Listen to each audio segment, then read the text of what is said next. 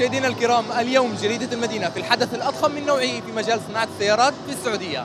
اليوم جريدة المدينة تغطي معرض الدولي للسيارات 2014 الذي احتوى على أغلب السيارات وأغلب أنواع الشركات.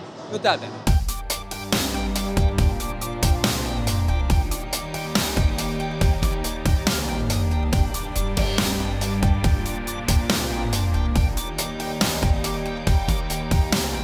شهد المعرض.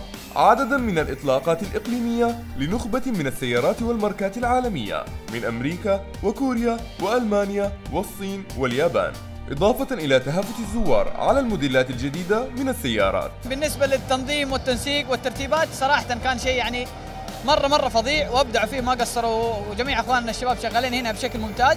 والله المعرض ممتاز جدا صراحة وأحلى ما فيه التنظيم للأمانة يعني. لكن في بعض فئات السيارات ما تشوفها هنا يعني كنا نتمنى لو كان المعرض أشمل وأكمل يعني. بالرغم إنه في شايف إنك تعبان ما أدري رجلك كسرت ولا إيش اللي صار.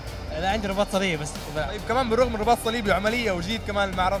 أي هو تقريبا عادة سنويه كل سنة بجي المعرض هذا بشوف السيادة الجديدة بتنزل آه، خلال عام كامل. تشوف الأحداث كاملة إيش بتصير في عالم السيارات إيش السيارات الجديدة إيش آه، سيارة التعديل كل حاجة فيها. واستمتع الزوار على هامش المعرض بمتابعة العديد من الفعاليات والأنشطة المخصصة للشباب. وعروض حية لسيارات الدفع الرباعي والدراجات النارية والسيارات المعدلة والله أحب الموديلات القديمة وهذه يمكن رابع سيارة أعدلها وهذه موديل 74 امبالة وتعديل إن شاء الله كثير.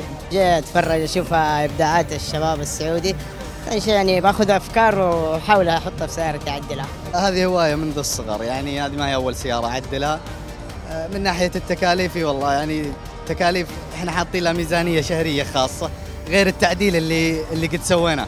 يعني تخش في القطب لازم إنك تحط لك ميزانية شهرية من الراتب 2000 3000 بس صيانات بسيطة. بالنسبة للقطع اللي عندي كلها طالبها أنا من أمريكا شركات عالمية الحمد لله. شاهدنا أكبر تجمع للسيارات وشركات السيارات والمهتمين بها. من بين السيارات المعدلة كانت خاتمتنا. لجريدة المدينة أيمن خضر جدة.